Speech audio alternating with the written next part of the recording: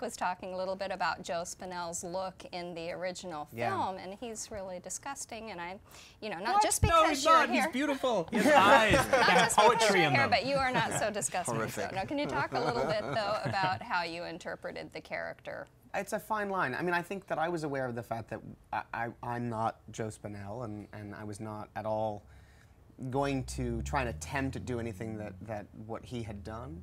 Um, that, you know, th- essentially creating the character was creating the character from a fresh perspective. So I actually didn't see, I hadn't seen the original Oh. film um, until we started shooting. Oh, okay. Which I think by the time that we started shooting, I thought I'll wait until we've already kind of established the character because I didn't really want to use it as a reference point.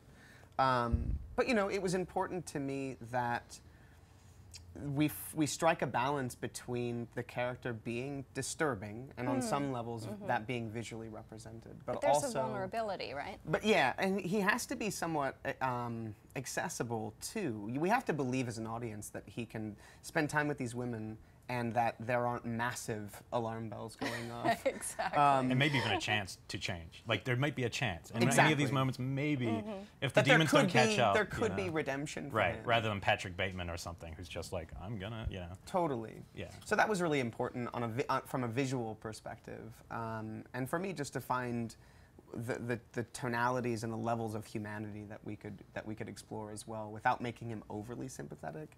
I mean, I, I think it's a it's a danger that, that modern horror has gotten into, specifically with remakes, where they try and and almost um, the, the the new perspective is to give a backstory to Oh, our famous Poor killers, which is such a you know, it's a nightmare because the thing like is that he it, it is, and- robs yeah. Well, it robs those characters of what made them scary to begin with, and mm-hmm. I, I think you know, And horror- maybe it tarnishes the original in a weird way, because oh. you start going, oh, that's the backstory to the Right. classic. a bit. And You horror know, films, fans are really savvy, and and when they feel like they're being forced to feel something, especially sympathy, it, it just doesn't it doesn't resonate, and I think it's not necessarily organic. So that was really important that any of that come from a place of organics within the context of the character.